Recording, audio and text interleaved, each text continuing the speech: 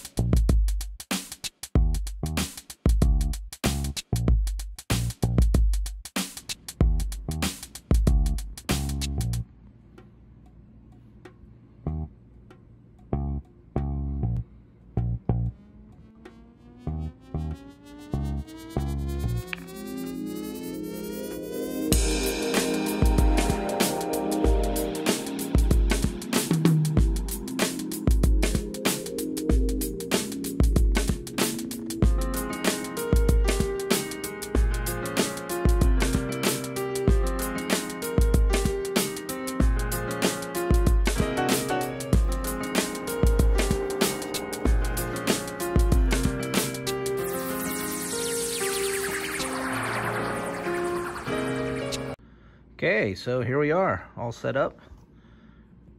Put up a little diorama here for you, straight out of the box.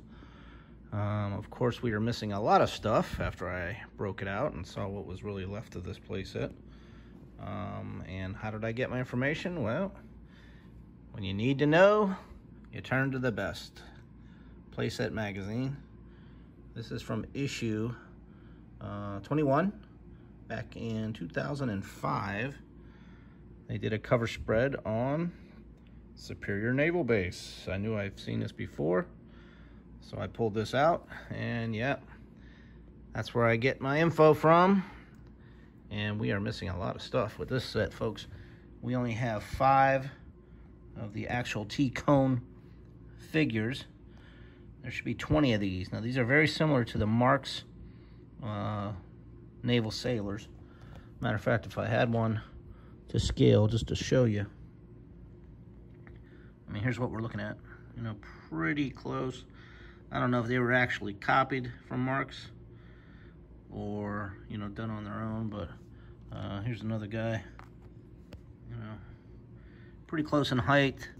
45 millimeter. These are not uh, 54 or 52nd. You know, they're not 132nd scale. They're definitely smaller, but uh, still um, pretty close to the uh, the Marx uh, Training Center naval figures. As always, the uh, the ships are not to scale. the planes are definitely not to scale.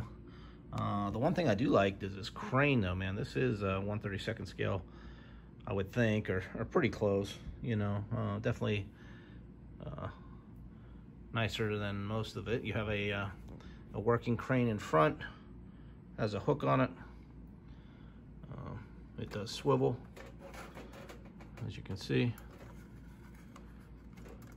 And it has this uh, magnetic hook that you can put right on here. And it would pick up, uh, if I can just, I'm gonna pick up these boxes. I do have all four of these crates. There are two large ones and two small ones. However, I am missing the, uh, there should be cargo netting that goes with this. Uh, but the, uh, the magnetic uh, thing should pick these up and lift them right up, which they do. So that feature's kind of nice um, on this. This is approximately, uh, I would say, 12 inches by about 23 inches, 24 inches long. The I do have the uh, plastic fencing that goes around the outside. As you can see, there's a plastic ramp to get up to the gate. The main gate does say U.S. Naval Base. I did read in the magazine that they did make a Canadian version of this. So it'd be nice to see if somebody posts something about the Canadian version. Um, has a warehouse. This one is marked number eight. And of course the tin litho, very similar to Marx. It's about one inch off the ground. So that's why you need the ramp to get your vehicles up and down. Came with three vehicles. These are more 1940-ish, I would say, than 1950s but it has a truck, a uh, tow truck, and a little Jeep with a figure inside it. These all had uh, metal uh, axles. Okay. And these piers, there are four piers. They are not connected to the base. Okay, they just sit there. There are markings on here Pier one, two, three, and four. Um, and then there's a paper mat looking like water.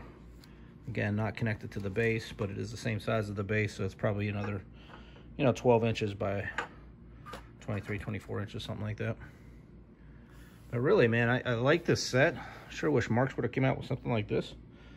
Uh, T-Cohn did a great job. Like I said, the only thing I don't like is uh, these ships. Now, something I did with these ships, I did have one of the original ones. It was a, I think it was a destroyer type or another cargo ship. It was made out of that gray silverish plastic and man it was brittle as all get out and the minute you set it down on the ground it just cracked and fell apart so that got trashed um, this one as you can see is getting very brittle right now and not looking so good. I'm missing pieces to this. The bottom cracked, the wheels. I have one wheel attached on each side. That's as good as that one's getting. So I try not to pull that out too much. Aircraft carriers have made it a little bit softer plastic. Uh, it's a light blue. I do have all five uh, aircraft that came with that. This life raft actually came with the one ship that uh, did break up. So, of course, uh, just to give you some scale, this is definitely uh, not to scale there, but, uh, you know, do what you got to do with your imagination back in the 1950s, you know? So, but all in all, not a nice, not a bad uh, play set. I really like it. It's really nice. Um, there was another hook, sorry, on the crane on this side. This swivel, this whole thing swivels. There's another hook inside there, if you can see, um, from underneath possibly. So you had a, a gantry crane and then a regular uh, hook crane. So what I do have here, like I said, I added some Marx figures just to show you what that would look like. Um, not too bad. Again, 45 millimeter. Okay. These are two ideal submarines that I came across at a toy show several years ago. And I added them to this set. Let me tell you, they fit in pretty good with the uh, the scale there of the uh, the other ones. These are ideal, like I said. If you can move uh, move some piers just a little bit. And if it's anything like Norfolk Naval Shipyard, close to where I work, um, you have a ship next to a ship between piers, so it does. They do park them like this. Um, it's a tight fit, but you can make it work if you bought some extra ships for this. Buy some extra figures. Said the uh, T. Cohen set, Superior Toys, did come with about 20 darker blue Navy Sailors that are very similar to the uh, the Marx Training Center Sailors. I don't think they use the same mold, but I'll post a picture that I got out of the Playset magazine in there. So, hope you guys enjoyed this. I didn't see anybody else on uh, YouTube doing a uh, review of this, so uh, hopefully if you guys are collecting, trying to fit, finish your set, you got a little something out of this. If you really want to know what went with your set, you got to buy a copy of this or find it somewhere. I'm sure it's still not in print anymore, but it is uh, definitely very helpful when trying to re rebuild your uh, Marx sets or your superior sets like this. So again, thanks for watching, and uh, as always, keep collecting.